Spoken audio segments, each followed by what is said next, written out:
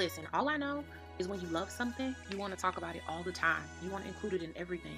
That is how I feel about my faith. That is how I feel about Jesus.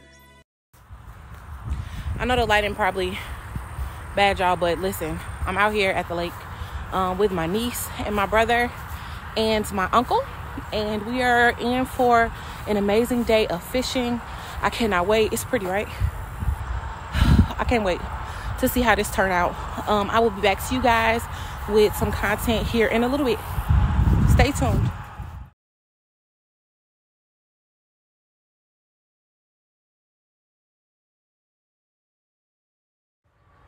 All right, y'all, second fish of the day.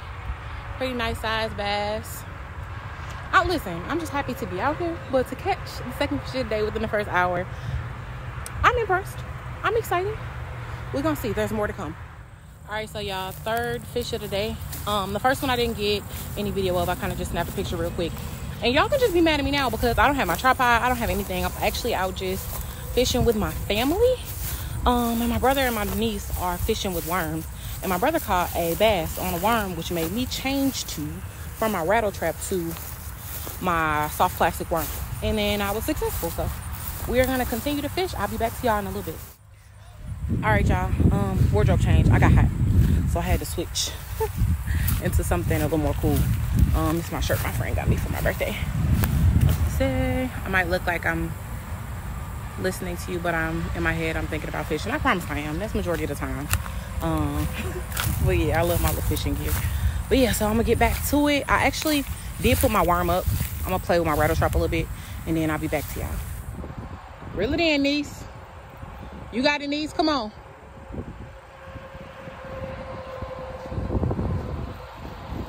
Come on, knees. Pull it up. You got it.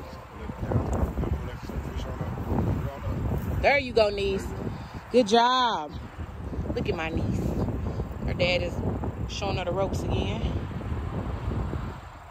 All right, so I hung into one more bass before we move over to the other spot. But I want to get a picture of where I'm fishing at and see if we can do like a lake breakdown. Where would you fish if you were fishing here? All right, panning out this lake from left to right. I'm noticing some greenery, some forgery. I do also notice that the bank is windblown, and I will probably end up fishing this end of the lake because it pushes all the bait fish, which then pushes all the predatory fish right behind them. Um, but those shadow spots are good hiding places for bass. I finally decided to stop bass fishing and start bluegill fishing. Look, y'all see? And then I catch a bass, another bass. I don't know. Bass are eating today. Bluegill are not really trying to fool you, girl. My brother, on the other hand, is doing really good on the opposite side of the lake, fishing lily pads and stuff like that. But yeah, this is how it goes. Listen, I can't fully get him in frame, bro. This mug huge. Um, I was about to give up, about to head out, bruh, but no, I kept fishing and I started back bass fishing and I was successful. I'll get y'all some pics. Just for reference, I'm a size 11 women's shoe, big mouth bass fishing with my brother and my niece. My uncle wanted to hold my fish. We did catch quite a few bluegill. I did not get any video of that.